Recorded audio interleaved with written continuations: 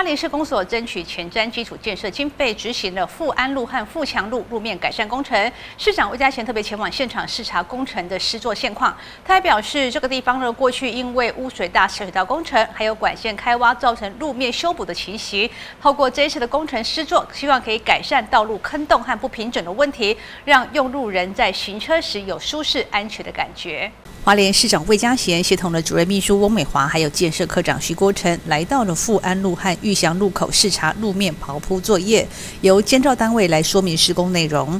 市长表示，富安路和富强路过去因为污水下水道施工，还有管线开挖问题，道路不平整。这一次的改善工程，要让用路人有一个安全平顺的交通环境。那我们知道富安路跟富强路过去有一些人孔的问题，哈，那我们这次也要求。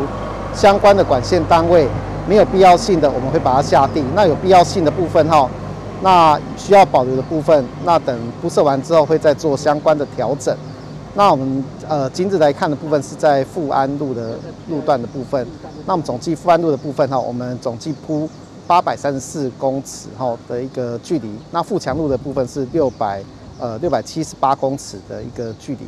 那我们希望铺完以后，能够呃给我们附近的民众有一个安全、呃平安的路。那过去也是因为污水下水道的施工，各个管线施工造成道路比较不平整。那这次特别谢谢中央营建署的大力支持，让我们能够有一个安全回家、平安上上下班的路。富强及富安路的路面改善工程是内政部的前瞻经费补助，总共是一千一百五十万元。施作道路包括了总长六百七十八公尺的富强路，还有总长八百三十四公尺的富安路。富安路的部分六月十八号已经完工，富强路预定在六月底要开始施工，届时请民众配合绕道，注意安全。记者会换市报道。